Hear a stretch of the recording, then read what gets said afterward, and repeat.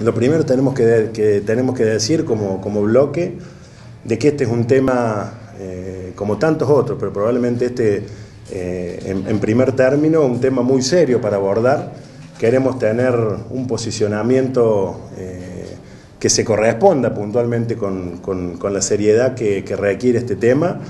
Y es por eso que hemos definido, luego de varias reuniones que hemos tenido con nuestros equipos técnicos, que inclusive hoy nos acompañan, comenzar a bueno, desandar eh, este camino solicitando información pública puntualmente al intendente municipal Juan Manuel Llamosa,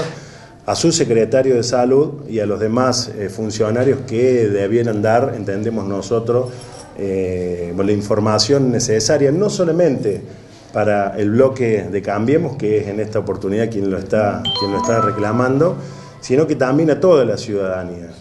Eh, hemos tenido las más diversas eh, opiniones por parte de los, funcionarios eh, municipales, no solamente opiniones, sino que también posiciones que la verdad dejan entrever algún tipo de, de incomunicación puntualmente. Por un lado, el intendente hace no más de 30 días ha hecho declaraciones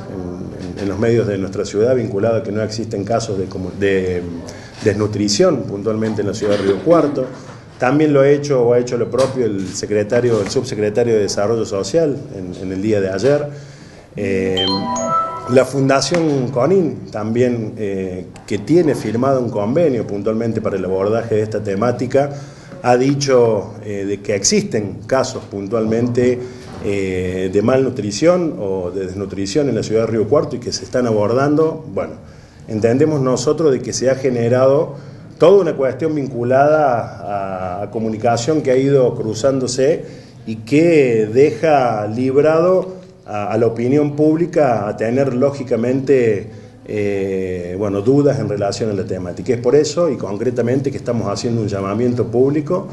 a esta información que creemos nosotros debe ponerse de manifiesto. Y lo hacemos a los funcionarios municipales porque lógicamente es quien tienen que dar en primera instancia la respuesta de un tema tan sensible eh, que requiere, y en esto también dejar sentado una posición,